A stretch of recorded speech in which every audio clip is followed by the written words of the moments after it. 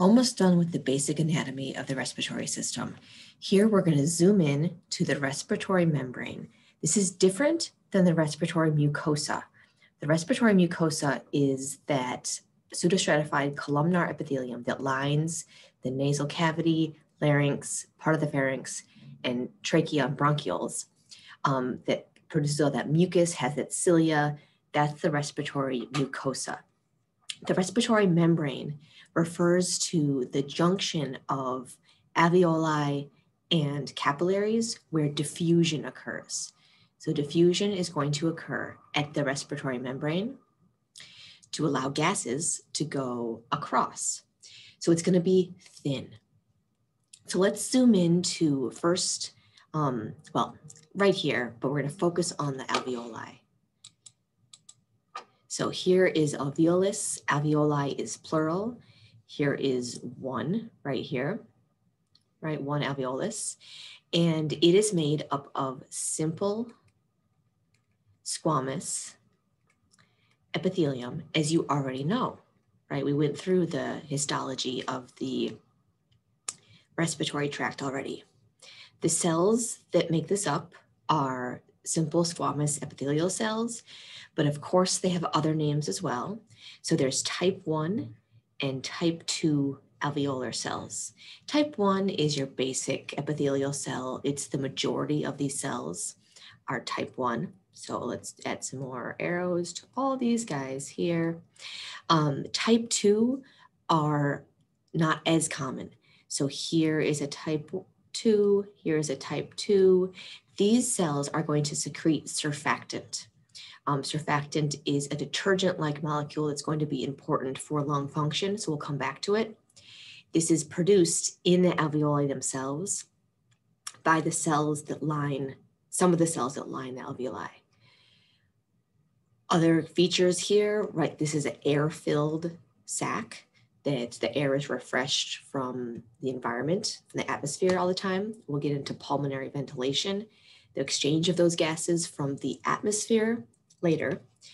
Um, what happens at the alveoli, this whole purpose of this respiratory membrane for uh, allow for gas diffusion, a high surface area, is for gases to cross into the bloodstream and back. So let's zoom into this right here. This is going to be called external respiration because we are going from the external environment, diffusion into the bloodstream. So here we are zoomed in. This is a type 1 alveolar cell. There would be another cell next to it, right?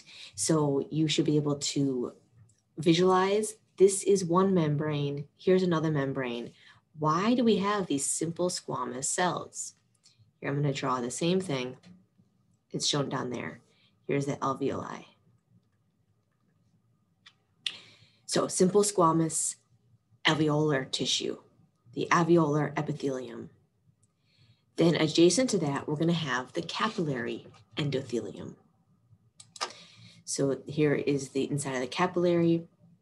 Here are the cells, the simple squamous epithelial cells that make up the endothelium of the capillary, right? So we've we've talked about that. The capillaries are just a thin layer of tunica intima. That's what they are. So here they are. Draw them like this. In between those two thin layers of cells, there is a thin basement membrane that fuses these two epithelial layers together. Um, so it's extracellular matrix stuff, um, glycoproteins, stuff, stuff in these two things together. So this is the respiratory membrane where we would have gases pass um, across as easily as you can have gases pass across cells, simple squamous. There's four membranes, but they're all, the cells themselves are very thin. This is our respiratory membrane. It's gonna look, um, no, we'll get to that later. So this is external respiration going from the alveoli to the bloodstream in the pulmonary circulation, right? The pulmonary circuit is this right here.